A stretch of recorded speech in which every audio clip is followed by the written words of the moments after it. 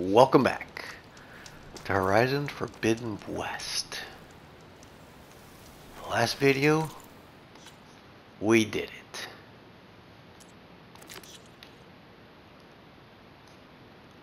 We wiped out all the zeniths.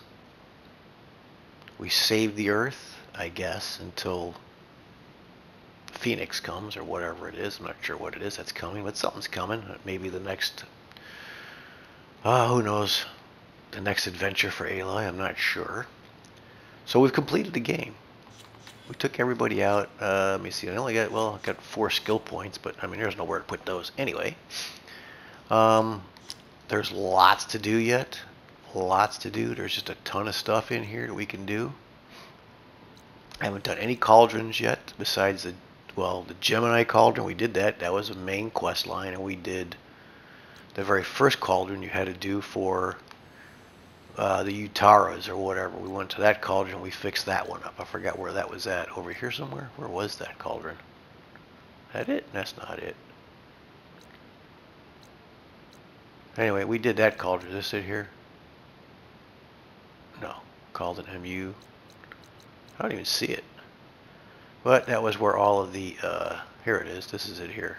Cauldron Tau. That was the one, I think. Where the, uh, plow horns are all up, the gods of the earth or whatever they are. They're there. Um, let's see, and let me see if the, if the, okay, yeah, the far zenith thing is not in the clouds anymore. And I don't know if you can go back there or not. I imagine you can if you really wanted to. Still a lot of clouds here. It's kind of weird. But, and phew, there's probably not much over there really, since it's already cleared out. We wiped out everybody over there. So, uh, what I wanted to do this video, as I said last video, I would show you where my favorite farming spots are. And that's what I'm going to do. I'm just going to take you to some of my farming spots. Um, I don't know what kind of jobs we got to do here. We've got, uh, let's see, what do we got hooked up? We got nothing hooked up right now. We have this one here, Apex Slitherfang, um, Dreadwing Metal Fang, Clamberjaw Tail Dusters, and Rockbreaker Mining Claws. That's interesting because I hadn't mined or farmed any Rockbreakers at all yet. It's very strange. Uh, Apex Stalkers, I can show you where I can. We're just going to go through a whole bunch of stuff here. So, first things first. What I do, just to make life easier, because I'm just farming for materials. There's just nothing, just doesn't bother me that much. We're going to go with story mode, okay? Um, yeah, that's good. So, let's say, um, let me put on my Utara thing again because that works pretty good. That's kind of my favorite. Or this one here, this thing here is pretty good. That's like my favorite outfit. It's got really good stuff. Stealth range, Valor, Surge Master, Plasma Defense. I mean, we, we got a whole bunch of stuff going on there. Um, and right now my shards are at 6685, so we're pretty good. But let's say you need to get some shards. My favorite shard spot is, let's see, where is it? It's over here somewhere. Um, it's in the desert because I always end up in a frickin' desert storm. Here, no, not there. I'll find it. It's going to take me a while to find all these spots again.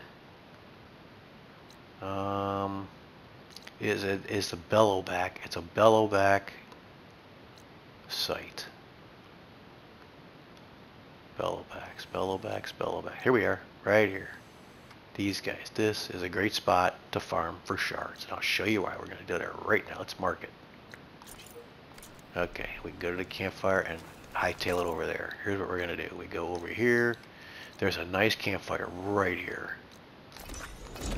that you can save, quit and save on. Now I'm gonna do, we'll just do this run once because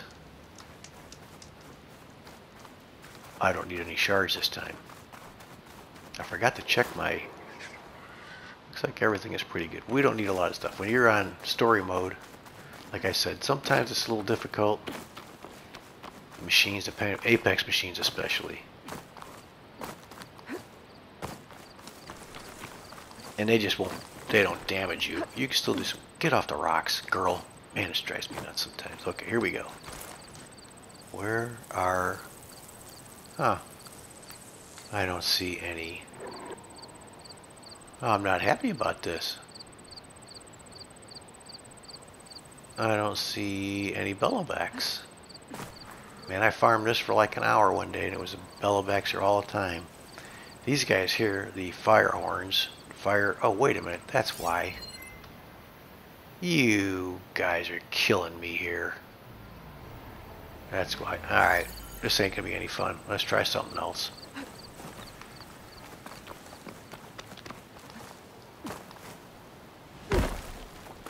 There's somebody already over there and that's gonna just that's just gonna mess up the whole thing. Alright, let's go do something else. We'll come back to this. Alright, so next thing that I can think of off the top of my head is frost frost claws. Which, you know, all frost claws and fire claws, they're a pain in the butt anyway. Let's find a frost claw site. It is right here. Let's see, is that it? That's not it. That's the Scorchers. Here it is, Frostclaw. Let's go there. Show you how that works.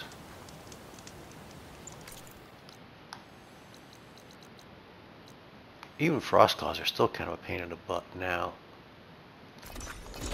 If you need to collect sac webbing. That's usually what the problem is, is sac webbing. And this is already at night, so we're probably going to have apex frost claws here. You don't want to hit them in the gut, which I think it's okay under um, story mode. Is there one over here somewhere? Let's see what we got here. There's one right there. And it's at apex. Okay. So if you can hit him in the ass that's pretty good. And I don't have any Valor, so we can't use Valor. And if we can get him to come this way... I think, I really think that the Frost Claws are easier than the Fire Claws. Fire Claws are, man, they're tough. These guys are tough too, but... Let's just do this.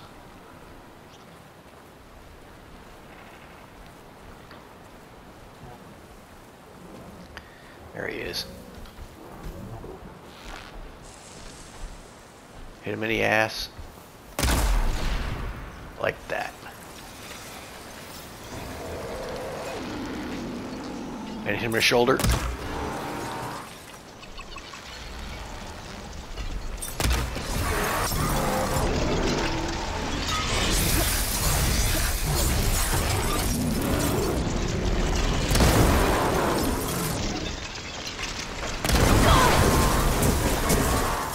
Frostclaw down. But that he's got little uh, claw striders here too. So you gotta deal with those guys. Oh, nice dodge. That was pretty good. Alright, you guys are asking for it.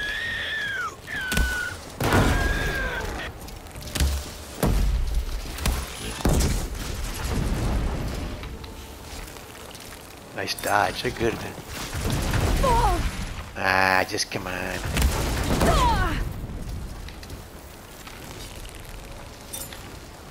Hit him. Love how those guys scream, man. It's pretty funny. So, as you can see, that uh, Frostclaw, his sac webbing is still there. That's the stuff right there underneath him. We'll go look at that. But usually on story mode, you can get everything that's on them. You don't have to see that there. That's the that's the sac webbing. That thing on the bottom of them. That's the best way to blow up a frost claw or a fire claw in regular mode, a normal mode, or anything above normal mode. But this will give you the sack webbing. And that's what you need for a lot of upgrades. Okay, so that's these guys here. Um, let's go to a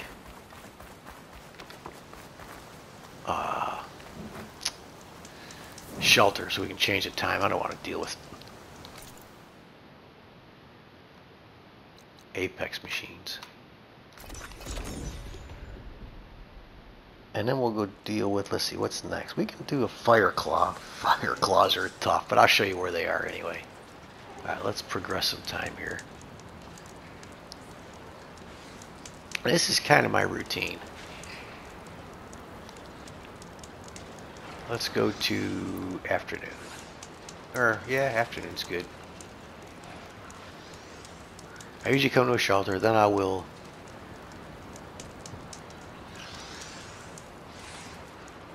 reload my ammo because you know this is the cheapest place to do it is at a shelter. I don't know what's going on down there. Sounds like some kind of freaking maniac stuff going on. Um, so we need to redo. Let me see. I use some bombs, and I didn't use any of those. I need some precision arrows. That's what I use mostly. And I use that mostly in these runs anyway, because precision arrows are pretty good. Okay, so now what is going on down there?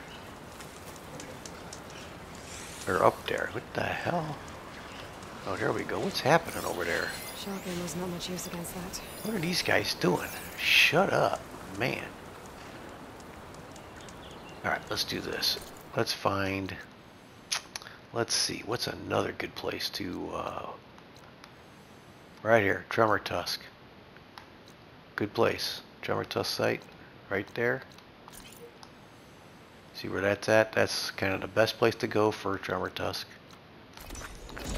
And you can get an, uh, you know, an apex, depending on the time. You go there at night, you'll get an apex. And there he is. And actually, he looks like an apex. I didn't want to deal with an apex but I didn't have to. Let's see if he is. He is not. Okay. And they're pretty, uh, pretty easy to deal with too. Well, on this mode they are anyway. Let's just blow up his little sack down there. there he is.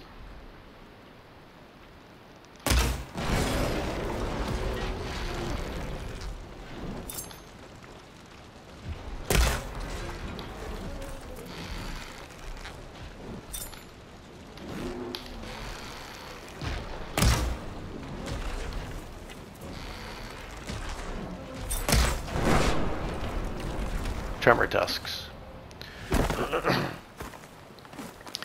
and usually you need a lot of their tusks. And you can, I usually get, I usually will take them off if I can, get some of them off with uh, precision tear arrows. But you'll probably get, see how many we'll get with these. We'll get four tusks. That's pretty good. Four tusks, Get a primary nerve. That's about it. And some volatile sludge is good. Okay, we'll take all of that stuff. And I see, I already I need eight tusks, so I still need some more tusks, but that's not what this video is about. I'm just showing you where all this stuff is at. Um, Slither Fangs, not Slither Fangs. What are they? Uh, Tide Rippers. Let's go do a Tide Ripper too. My favorite Tide Ripper place is, let's see, where's he at? He's down here somewhere. Here he is. Is this him? Right here. Let's go do him. Now, down here is a little dangerous because of these guys. This convoy travels this route here. They come, up they go down to this beach, they wander around here, then they come back, and they travel this route and they go all the way through here. Very weird. So they'll probably be there when we get there. Let's see. Tide Ripper's fairly easy to deal with too. And I always do a save here because you, you know as long as there's a campfire here, makes it easy to farm these guys. This is a little more difficult because the campfire's not near where you want to be, and there might be a freaking damn convoy coming through here. And I don't see him? Okay. So I usually just kind of jump off right here. And you'll see up on top there, you'll see the little icon come up that something's looking at you and it's going to be the Tide Ripper. There he is.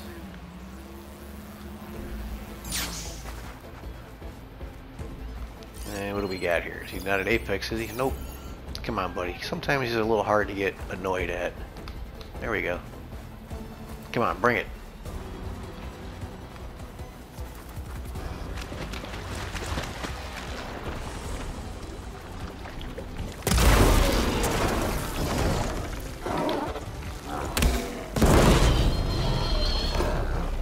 Tide Ripper. And usually need tail fins from this guy. Uh, what do we got here? There you go, Tide Ripper tail fins. That's what you usually need to upgrade stuff. Oh, also if we get primary nerve. Okay, take all that. Now, the dealio with this is you got to run all the way back up that hill. And again, you got to watch out for these guys, and they're coming closer too. So they're not always here though, because like I said, they have a, they have a pretty wide, pretty long track that they go around on.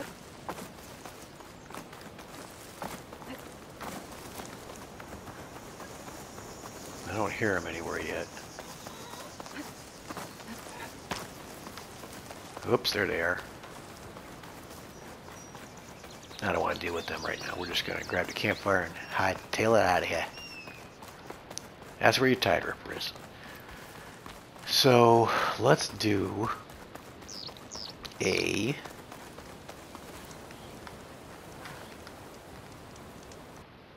Oops, wrong button. Sorry. Uh-oh.